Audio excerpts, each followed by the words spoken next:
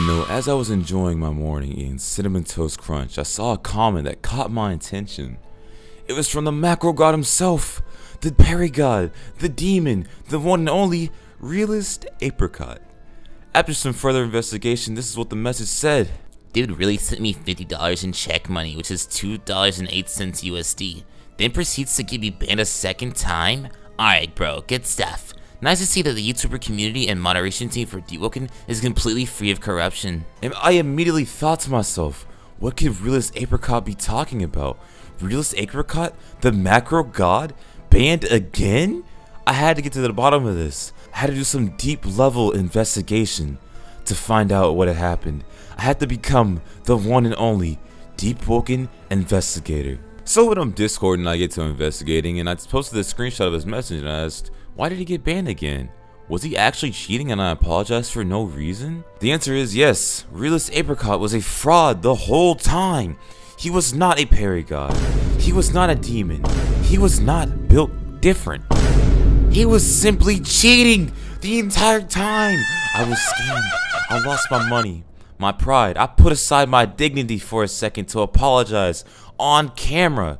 I got bullied at school for this all for the sake of realist apricot to get his internet points, his internet clout, and for his ego to be inflated. I asked for an official statement from my favorite Deepwoken moderator besides besides Atra and and Jamming and, and Marvin and Select Torch and the list goes on, but my favorite moderator asked him for a statement, and this is what he had to say.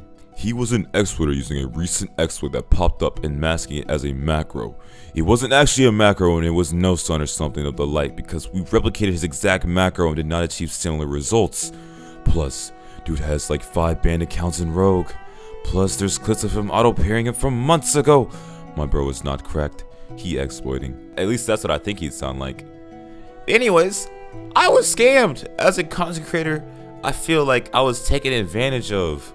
Not only did I not get my money back, I'm not taking that video down because it made me like $30 and I actually spent that on some Jamaican food. Here's a picture if y'all want to see. That shit was in fact bussing. Anyways, I just had to make that video. Uh, that guy was actually cheating and and I, I, feel ashamed that I fell for his, his buffoonery, his tricks, his mastermind plan to get internet clout. Anyways, that's it for the video. If you guys like the video, make sure you leave a like, subscribe, turn on the post notifications, and um, bye bye.